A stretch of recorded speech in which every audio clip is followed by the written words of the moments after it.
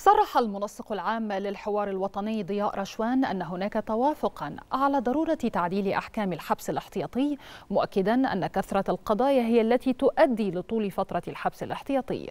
وشدد رشوان خلال مؤتمر صحفي على أن الإصلاح الهيكلي كفيل بعلاج بطء الإجراءات وحل المشكلة بقدر الإمكان.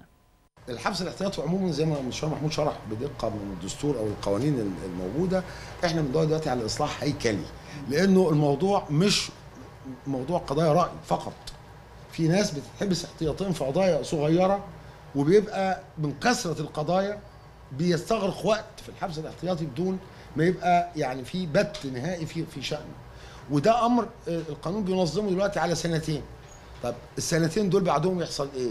هل يجوز اتهامه في قضايا أخرى أثناء حبسه؟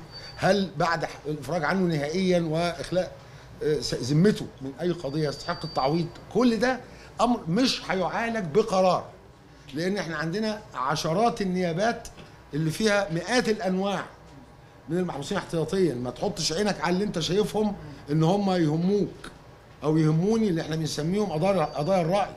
في في طوائف أخرى من المصريين الإصلاح الهيكلي في القوانين والتشريعات وبالتالي الإجراءات ده كفيل بحل المشكلة بقدر الإمكان.